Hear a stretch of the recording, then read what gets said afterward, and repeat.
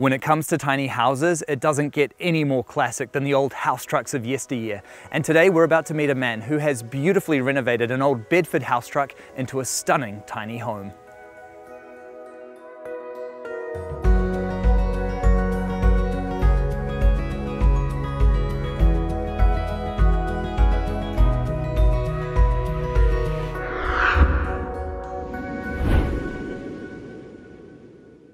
Hey James, how's it going, mate? Yeah, good mate. How you doing? I'm very well, thank you, and I'm really excited to see your epic home here. Yeah, cheers, mate. I've lived in it for about a year and a half now, and I absolutely love living in it. Eh? Yeah. yeah. So vintage house bus, it does not get much cooler than that, does it? No, I think it's about a 1960s uh, Bedford house truck, and uh, yeah, just keep the original patina look, and went from there really. Yeah. A definite classic. Yeah, I found it at a garage sale, uh, 500 bucks, empty. No way. Yeah.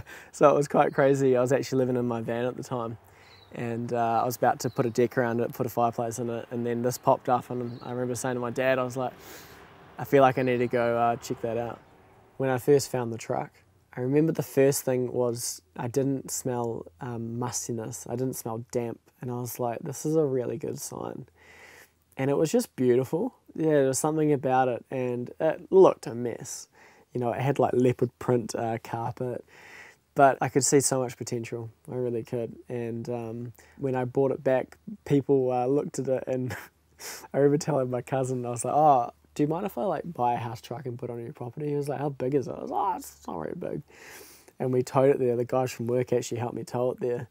And uh, they were just cracking up. I eh? just seeing this old gypsy house truck. And that was a bit of entertainment for the old fellas because it was a state like just the walls, like it looks like mold all over the walls, and it just people thought I was crazy, but I could see what was going to happen with it.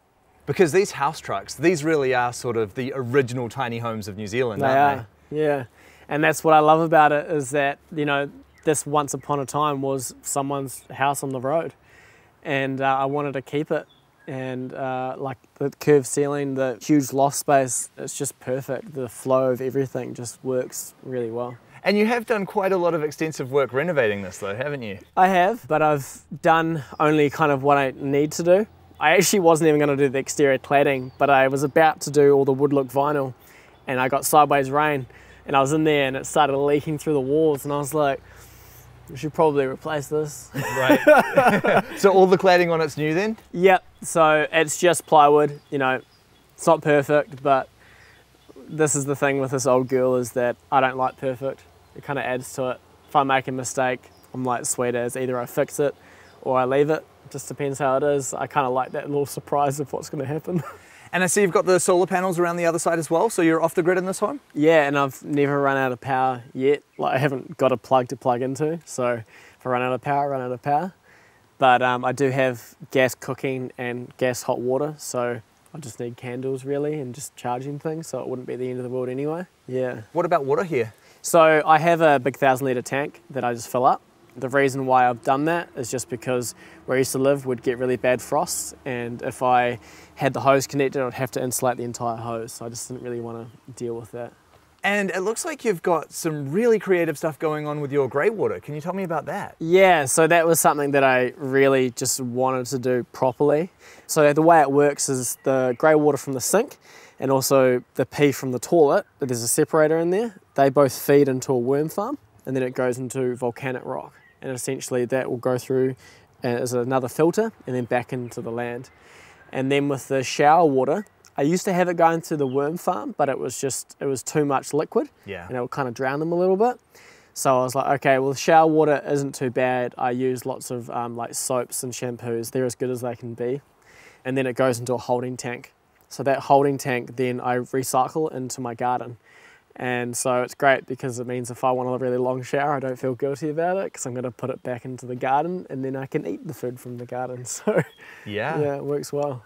Well, this whole place is just so packed full of character and I cannot wait to see what you've done inside the truck. Can we check it out? Yeah, no worries. Cool. After you, mate. So this is probably one of my favourite spaces. It's my, uh, my shower that I built. This is actually a completely separate building. So I can move it, I just have to rebuild the foundation. So from the last property, uh, we just picked up the whole thing, unbolted it, and then built a new foundation, and then plotted it back down. What a great idea. Should we take a peek inside? Yeah, no worries. Hey, this is very cool. I love that window there. Yeah, it's definitely one of my favourite pieces of the whole home. It was in my mate's paddock, just sitting there. It was an old door, and I love a really light shower, lots of natural light, and uh, it also just dries it out. It gets so hot in here because I've insulated the entire shower. Right. It actually is a bit of a sauna, but in the winter it's lovely. You hop in here and it's nice and toasty. And um, it gets really steamy in here, which I love. Like at night time, I, I get the candles going and get the shower going. You get a bit of the steam and get some incense, and it's, it's actually one of my favourite part of the day. Just coming in here and it's just a really nice relaxation. Sounds pretty magic. Yeah, it really is. And uh, recently, I've just put new flooring down, which is uh, recycled Rimu from um, a house we're renovating. And uh, yeah, I just I love the old wood look. It's just gorgeous. Absolutely. And it's always nice to be able to reuse materials as well. Definitely, there are little bits and pieces of borer, but adds to the character in my eyes. Yeah. Very cool. Should we check out the rest of the house? Yeah, of course. Awesome. After you. Thank you. Oh, now this is just so cool. You were right about it really having an amazing sense of space inside here, eh? Yeah, it feels like quite a large space, and I do think a lot of it has to do with the curved ceiling. Absolutely. So immediately here on the entrance, what do we have either side of us? So this here is the original wardrobe. So I just sanded it back, I gave it a nice stain, and I wanted to keep some original features. So I was lucky that this was still in really good condition. Yeah. And over on this side is the composting toilet. I love that this is not only your composting toilet, but also a tool shed. Yeah, I just thought I may as well make use of the space, and it's great. All my little tools and bits and pieces, and uh, it works really well. Yeah, and you can work on projects while you're on the loo. How good is that? It works fantastic. Yeah, that's where all the creativity comes out. I love it. And then over here we've got your table. Yeah, so this is macrocarpa. These two pieces were one big slab, and uh, I didn't look at it really too uh, in depthly, and uh, it's got a nice little curve in it. So if I do spill anything, it just goes to the middle of the table instead of on the sheepskin rug. So I think it works quite well. Absolutely. and then this here folds up as well, does it? Yeah, it does because there's a single bed underneath. Uh, I just thought may as well make use of the space. Yeah. And I really like how you have done this as well because it's this very interesting hybrid between a lounging space and a dining area. Yeah, and that's what I'm all about. I really love sinking into the lounge and, and really just being comfortable. I don't like sitting on a chair and being all rigid. I love how I can cook dinner and I can just lounge and sit here and feast and that's what I do most nights is I love to cook. So I cook some nice food and then I just hang out and you know if you have someone around you can both sit either side and you can both lie on it but you've also you can have your wine, you can have your food and it's just a really intimate setting and yeah, I, I really do love love this spot here. And then this fireplace over here is just so cool as well. The fireplace itself is really unique. And then I love what you've done with the river stones underneath. Yeah, so this fireplace is actually off a local guy uh, in New Brighton, and it's an old gas bottle, one of those real tall ones. He cuts them in half and he makes these masterpieces, and uh, it's an amazing fireplace. Because a lot of these tiny house fireplaces, they're really small. They don't make sense to me, whereas I can pack it full of wood and I can shut it down and, and it will last most of the night. Great. Yeah, and then the the hearth, I had a different idea of how I wanted it to turn out. Um, it didn't exactly go as planned, but I ended up flipping it over, and all the cement had kind of just a thin layer. So I just got a hammer and cracked it, and now it looks like a braided river. It does. It looks so good. And then over here we have your kitchen, and this is of course a really important space for you, isn't it? Because you do have a real passion for cooking. I do, I do, and I wanted it to be a really functional space, but also not take up a lot of space as well. And this is actually original. This came with the truck, and if I wanted to get rid of it, I would have had to cut it up, and I just couldn't do that. Fair enough, too. I can really understand why.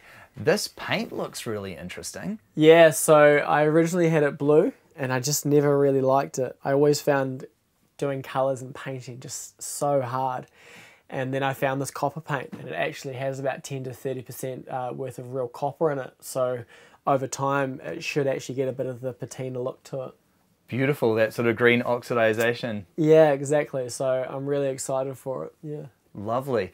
And the kitchen here has all the essentials. I see you've got a nice gas range here, fridge, sink, everything you need. Yeah, it does. So the gas oven actually only cost me 200 bucks, which I was pretty stoked with. What a deal. Yeah, I was really happy with that. And it's a proper oven. It's quite funny when I tell people I live in a house truck and they turn up and they're like, oh my God, you have a, a real oven. I was like, yeah, it's my house. like I want to have a proper kitchen. And yeah, the fridge, it's a 12 volt. I used to have a bit of gas, but ran into a few problems with it. And yeah, it's a proper functioning kitchen. Like it's better than a lot of homes, to be fair. Yeah. And do you find that you have enough storage in your kitchen here? Yeah, I definitely do. I'd say this is what I use the most of is all my sauces and my herbs. I really love to be able to see everything because two things it's just I find it aesthetically pleasing and also I forget what I have and then I end up having 20 of one thing. So it's nice for me personally. And it's lovely how all of your open storage just wonderfully frames that window. Yeah, it does. I mean, right now actually it does look quite good with the light right here in the afternoon, the sun can come straight through, and you get. I always find a lot of the reds and the yellows are the ones that poke through it quite nicely. And then you've got more storage here leading up into your loft as well. Yeah, so I built these from scratch. Um, so these are off an old drawer unit, and I cut them in half. And then this is all pallet wood, and then the face is all Rimu. Great. And yeah, it just stores all my clothes that I can't hang up. Nicely done. And then the bed up here as well. This looks like such a comfy space. Yeah, so I actually extended the loft to put a queen bed on it because I was like, gotta have a good bed. Yeah. You know? And uh, yeah, I do love it. For a tiny house, it's a really good space. You've got the telly up there as well, and even the Xbox. Yep, even got Chromecast and Wi-Fi, so I've got all the little perks. Living the dream. Yeah. so you mentioned you've been living here for about a year and a half now. How are you finding the space works for you? Yeah, I was thinking about that the other day and how um, it doesn't feel like I've been here a year and a half. I think it's just because it's such a functional home. It doesn't feel like I'm living in a house truck, if that makes sense. Like I could be at any home. And it's quite funny going to a big house and I'm like, I don't know what to do with myself. yeah, one thing I've come to realize is that I'm actually quite a tidy person. I didn't think I would be because you have to be in a tiny space. But it's also just little bits and pieces that I've come to realize that I, I really appreciate, like little bits of pottery and plants and just like I was saying earlier, with all the different colors and textures, that if I lived in an apartment with just a bed and I had plain walls, I wouldn't be as happy as what I am. I need all those little things in my life to feel fulfilled. Now, amazingly, you bought this home for only $500, which just completely blows my mind.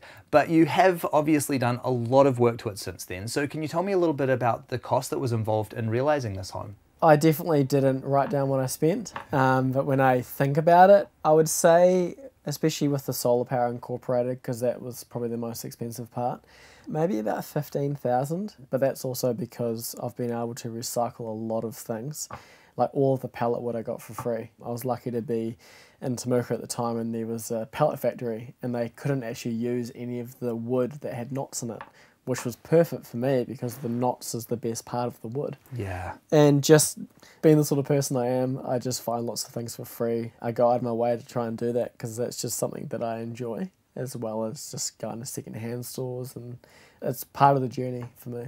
And to say that you've been able to build your home for $15,000, that's pretty incredible, isn't it? Yeah, it is because it's like I have no debt and um, I'm able to live in a city essentially.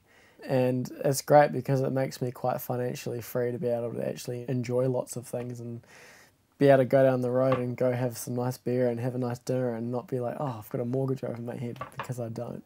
Yeah. And so, what does the future hold for you now? I will actually want to build myself a bigger tiny home. And yeah, I would like to build quite a big one, but I definitely want to still be able to create this kind of sort of atmosphere, but in a larger space. So that is definitely an exciting new thing for me, but I'm kind of just enjoying just moving to a city and just having a bit of fun right now. Yeah, what this is to me is a home, and especially where I've got it placed now, this feels like where I'm meant to be. And yeah, I can pick it up and move it, but that's not what I want to do for a wee while. And moving here recently was a really good transition for myself. It feels great, and um, I think the biggest thing for me is when I bring someone home here to share the space with and just seeing how much they appreciate it. I love bringing people here and they sit here and they look around kind of in wonder, and that's my favourite part is just watching that process. And I'm like, oh, you actually love this as much as I do. And that's something that is just so close to me. And it, it means a lot to me when people do that. James, what you've created here in this home really is something very special. I can really see how much flair you've got for building, and I am super excited to see what you do next. Thank you so much for sharing your home with me. Thanks for popping by, mate. This here is a tiny home, which is definitely big on character. I think for me, what really strikes me about this space is just how cozy and just how comfortable it is. This is a place that when you're inside it really feels like a home. And ultimately, who could ask for anything more than that?